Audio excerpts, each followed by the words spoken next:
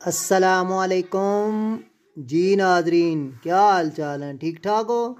तबीयत से ठीक है? आज इंशाल्लाह जी हम आपको दिखाएँगे कि बैंगनी के पकौड़े कैसे बनते हैं। तो इंशाल्लाह हमारे साथ रहिएगा। ये जी आपने ताज़ा तरीन बैंगनी लेनी है। बिल्कुल ताज़ा बैंगनी है जी। इसको पहले अच्छी तरह धो लेना है इसको। अच्छी तरह इसको धो के, साफ़ करके, फिर इसको हमने इंशाल्लाह जी काटेंगे। चले जी, हमारे साथ रहिएगा।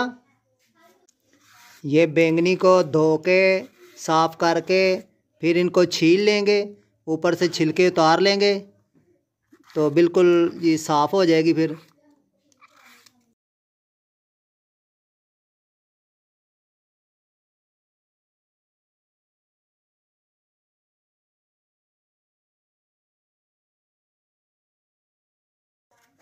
बैंगनी को छील के तो फिर ये बारीक बारीक ना इसको काट लेना है।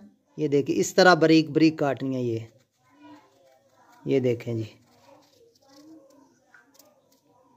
इन सबको ब्रीक ब्रीक जो है ना, काट लेना सबको। जितनी आपको ज़रूरत हो, जितने आपने पकौड़े बनाने हो, उतनी आप काट लें।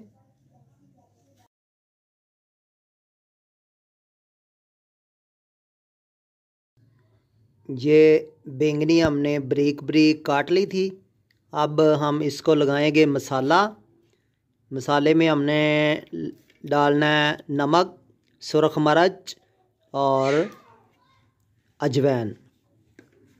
तो ये ये देखें, ये हमने सुरख मरच, नमक और अजवैन ये ले लिए। अब हम इनको मिक्स करके इस इस पे लगाएँगे। ये देखना जी।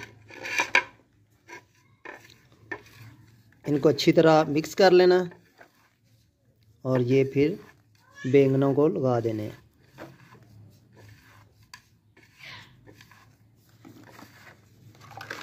नमक आप हसबे ज़रूरत नमक डाल सकते हैं।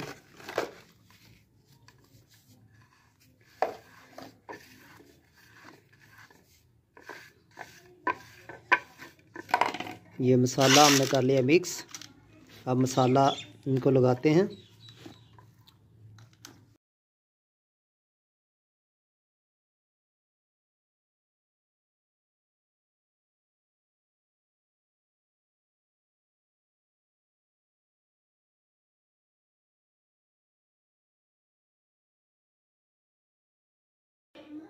ये मसाला हमने लगा दिया जी सबको।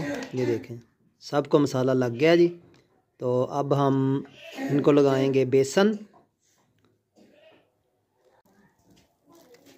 ये हमने लिया है जी बेसन। इसके अंदर डालेंगे सूखा धनिया। बेसन जितना आपको ज़रूरत है, उतना आप ले सकते हैं। अगर आपके ज़्यादा बैंगन है तो ज़्यादा डाल लें, आधा किलो डाल लें, पाव डाल लें। कम है तो पाव डाल लें, ज़्यादा है तो आधा किलो डाल लें। और इसके अंदर आप डालेंगे खुश्क धनिया। और इसके अंदर ये वाला जो मसाला हमने पहले मिक्स किया था, ये भी थोड़ा सा डाल लेंगे। और इसके अंदर ज़ीरा भी डालना हमने। अब इसके अंदर डालेंगे पानी। पानी डाल के इसको हल कर लेंगे। पानी ज़्यादा नहीं डालना कि पतला ना हो जाए। बस इतना पानी डालना है कि वो गाढ़ा गाढ़ा रहे, ताकि बैंगनों के ऊपर अच्छी तरह लग जाए। पतला होगा तो वो अच्छी तरह लगेगा नहीं। चलो जी, ये हमारा बेसन हो गया मिक्स।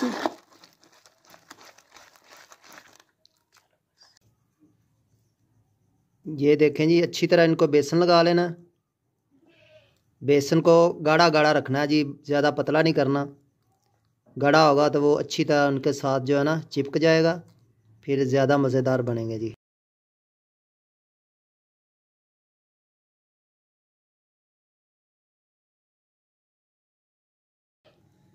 ये माशाल्लाह जी आग हमने जला ली है जी।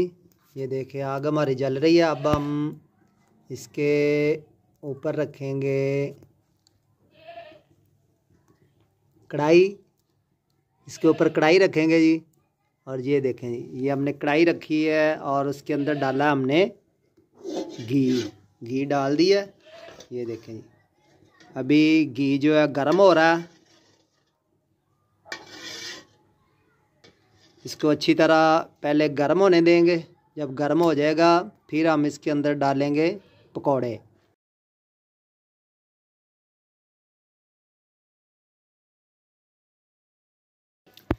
माशाल्लाह जी, आग हमारी बहुत ज़्यादा जल रही है। घी अब गर्म हो गया है। अब पकौड़े डालते हैं जी अंदर।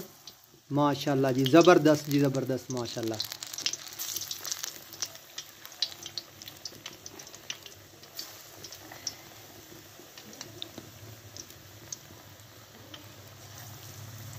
घी आपने ज़्यादा डाल लेना है, बाद में वो साफ़ हो जाता है, वो हंडिया में भी इस्तेमाल हो जाता है बाद में।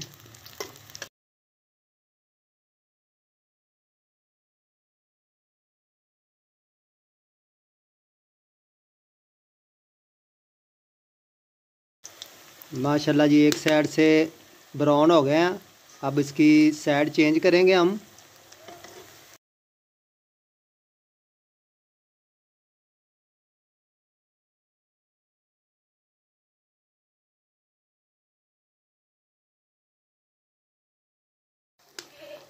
माशाल्लाह जी, ये अच्छी तरह पक गए हैं ब्राउन हो गया माशाल्लाह। अब हम इनको निकालते हैं बाहर।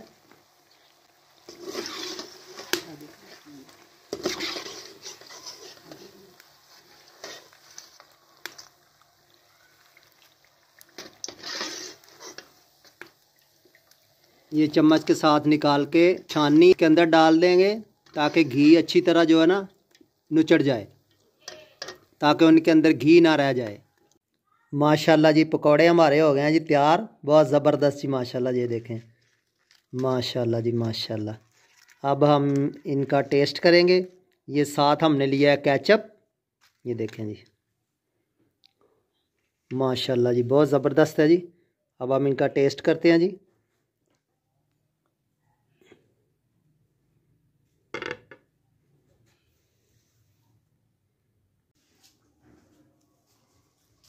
माशाल्लाह जी, बहुत ज़बरदस्त हैं जी।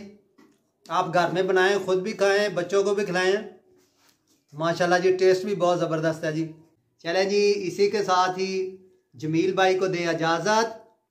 अपना ख्याल रखिएगा, हमारे चैनल को लाइक और सब्सक्राइब ज़रूर करना। पाकिस्तान, जिंदाबाद जी।